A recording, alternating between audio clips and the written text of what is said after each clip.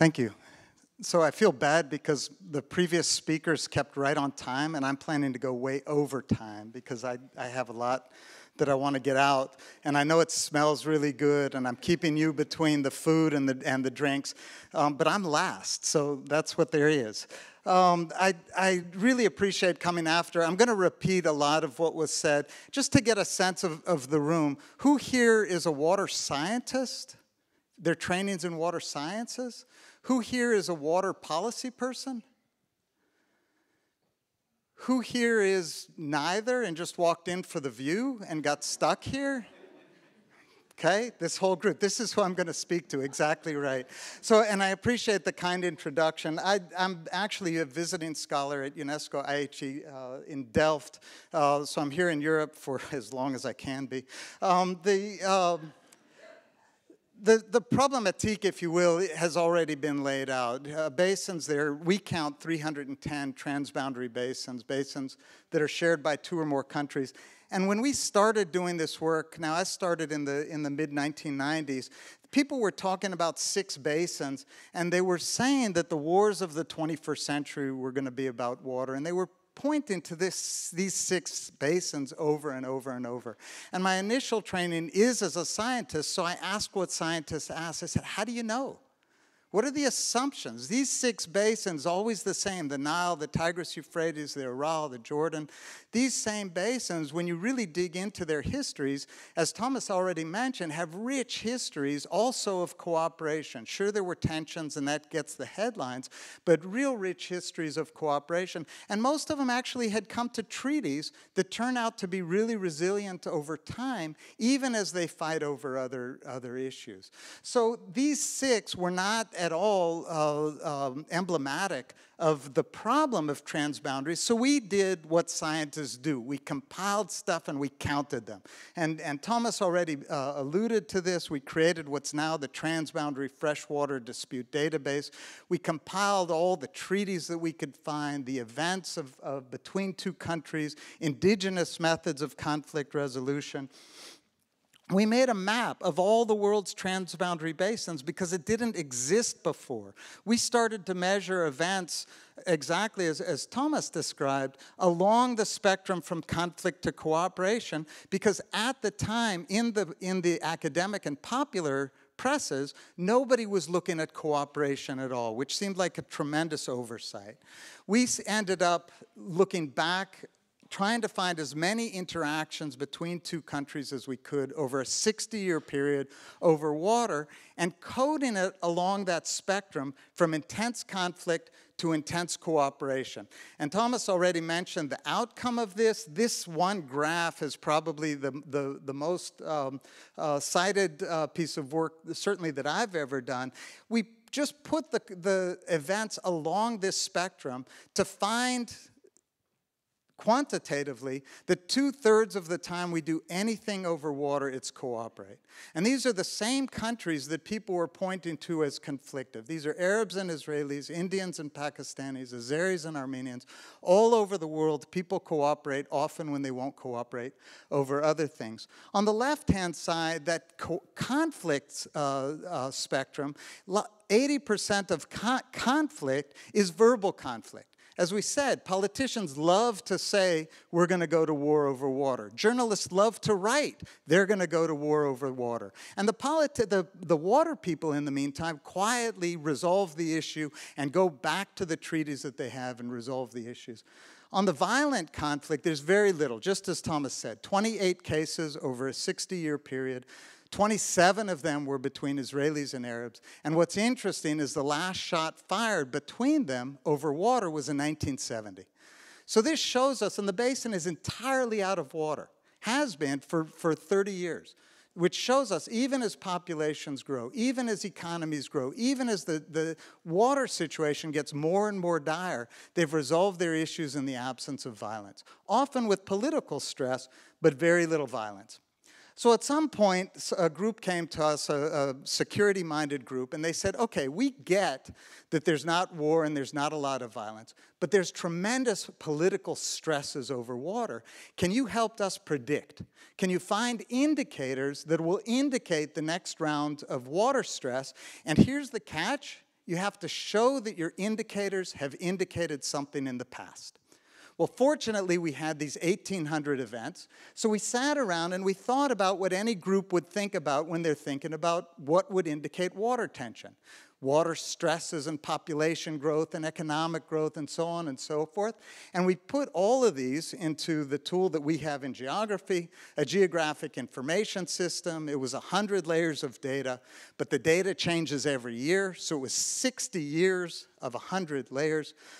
Never want to work with data again once what's nice about this, well, what's frustrating about this, the data changes. In the middle of our study period, the Soviet Union broke apart, which was tremendously frustrating to me personally, I have to say. All of these basins are new transboundary basins that resulted simply of the breakup of the Soviet Union. So even our base map changed. But what's nice about having all the data in one place, all you have to do is push the button and out will pop the indicators. So after two and a half years of collecting data, we pushed the button and out came absolute garbage. It didn't matter what indicator we were looking at. Statistically, nothing indicates anything about anything anywhere. Full stop.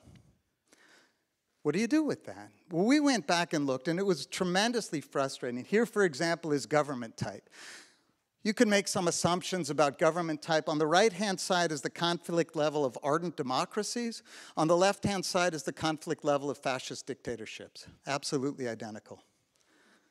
We had all assumed that water stress was one of the things that drives conflict. It's it just natural, it's innate that you assume that. So we looked at climate types, and here the long lines are better. The long, these are different climate types, and the, the long lines are better, the short lines are the, are the uh, conflictive, um, uh, more conflictive climate types, and sure enough, the dry climate turns out to be the more cooperative. So here's where the light bulb went off. This is exactly, and I see in your eyes, I can, I can see you, you, you nodding. This is where our light bulb went off that it's not just about stress. Along with all of the stress comes the institutional capacity to deal with stress. And of course, the dry climate is the most cooperative because dry climates force people to get together to build institutions to deal with their dry climate. Now it makes sense. Now I'm stuck because I, am told I have to hold the microphone like this, but I, need, I talk with two hands.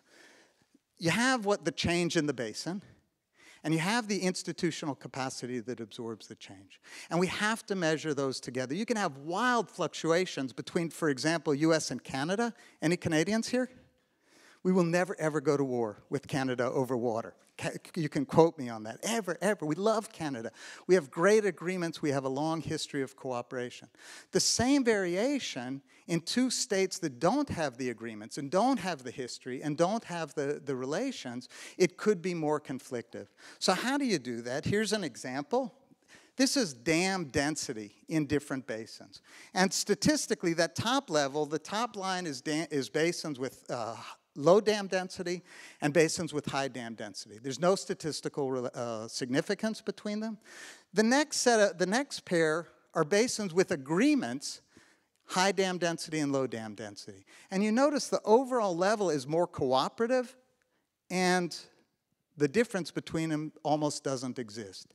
In contrast, the third set of bars is basins with high dam, with no, uh, no treaties high dam density and low dam density. The point is, it's not the dams that cause the conflict, it's the dams in the absence of a treaty about what to do about the dam. And this, fortunately, is exactly something that we can measure. So we go back and we look at our, our assumptions. Now we understand that there are two sides to the relationship.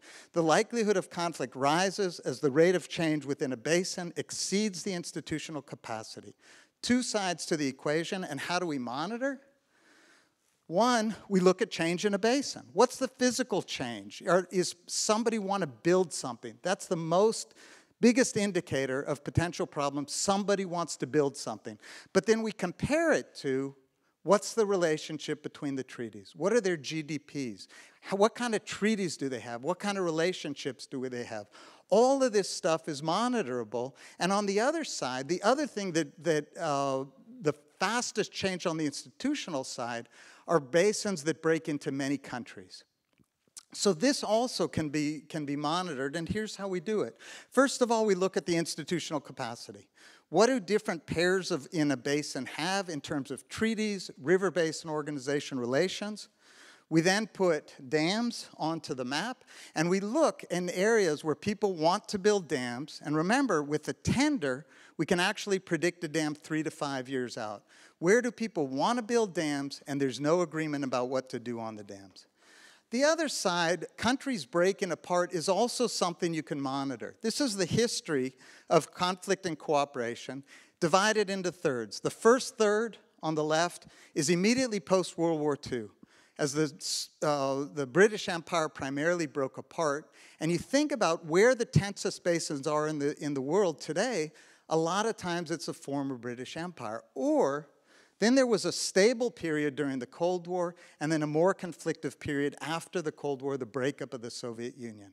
So these are countries that developed relations when they were one country and then uh, became several countries. This is also something we can monitor. There's a, there's a regular uh, count of independence movements, how successful they're likely to be. So you would look at places, formerly, you would look at a South Sudan, or currently you'd look at a Kurdistan. You'd look in places with independence movements where there will suddenly be new states. So this is what we did now in 2003. We put this together and developed what we call basins at risk. This is the map that we generated. This is the map the way the United Nations published it. Can anybody see the difference? Where's our cartographers? What's the difference? So what we did, look at the color scheme first of all. This is a stoplight color scheme. The UN said, no, no, no, that's too conflictive. We're going to go with a grapevine color scheme. We don't like the reds and the, we don't have conflict in the UN system. This was our title for our study. This was the UN title for their study, right? Maps are political, right?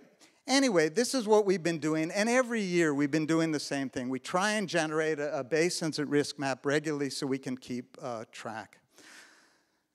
We've done this now three times uh, globally, uh, the same general relation, looking at the, the rate of change and the institutional capacity once uh, with the, uh, the basins at risk whenever we can, once with the World Bank in 2010, and once with the Transboundary Water Assessment Program in 2015, each time using the same set of relations, but each time the data is getting better and better. And so that's where I want to end with a proposal. You've heard a number of different um, approaches to this thing. We think there is a clear methodology to do early warning at the global scale. And I want to come back to your point. This is only at the global scale. To get at the irrational side, we, we have to zoom in and talk to the people who are involved. There's no question. But what we're hoping is that we need to continuously update these data sets, which is surprisingly uh, uh, hard to, to, uh, to do. But we have, we have not only the capacity, but we have the methodology clear um, that our database, that Thomas's database could be merged, could be normalized. Um, this ge geovisualization comes from this team here, uh, Simonett and, and Denisov, both, both who, who designed a, a water atlas for the uh, SDC um, using the same conceptual framework, but not the same data. And we were talking today, and we think we can use this beautiful geovisualization, but back it up with the solid data uh, that we have. And then this gives us a global map and then you zoom in locally, doing the kinds of things that, uh, that Christian and his team uh, would like to do, social network analysis and, con and con uh, content analysis. So we, we think this is possible and would be useful. To come to your question, ma'am, we think, we're hopeful that political people would pay attention. We're not 100% confident. I'm not saying anything about political people in general. I'm just saying sometimes a map, it takes more than a map to persuade people to do something. But people have been willing, especially the Swiss, the Dutch, the Swedes, have been willing to go into basins precisely to bolster the institutional capacity that is precisely what's needed to help prevent the next conflict. So as Kofi Annan said, oh, I didn't get his name up here. Let's just say I said it. It was actually Kofi Annan. The water problems of our world need not only be a cause of tension, they can be a catalyst for cooperation. If we work together, a secure and sustainable, sustainable water future can be ours. Thank you.